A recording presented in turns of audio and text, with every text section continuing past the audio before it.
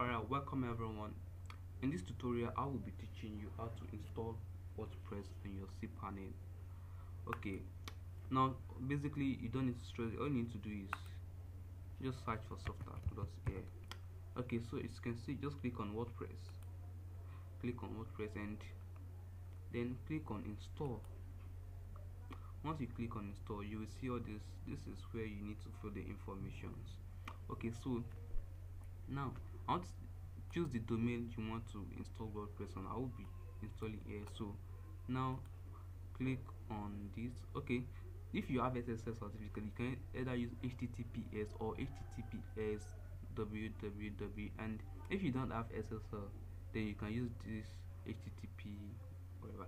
So, but since you're using HarmonWeb, HarmonWeb provides you free SSL certificate for your website security. So use this since you already have free from HarmonWeb okay so now type in your website name here. Your website name here. And here your website description. Here. Okay so now you don't need to select this multi-site if you are not using two websites if you are not connecting two websites together.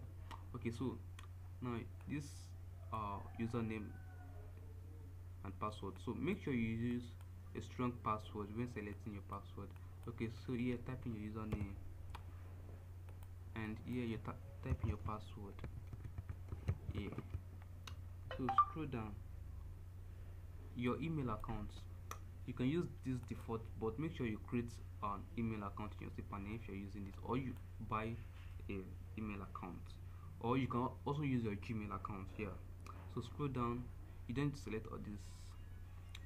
Or here you can select classic, classic editor if you would, love that but I don't use classic editor so let's scroll down and install.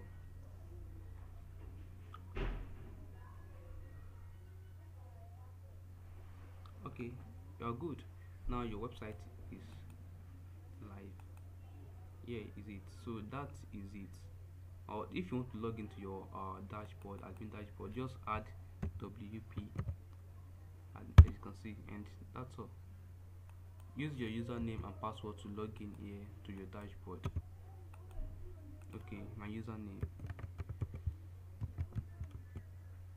And password.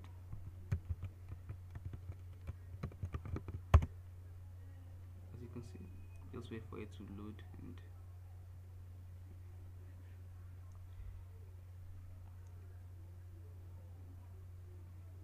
here you go. That's how to install WordPress Thanks for watching.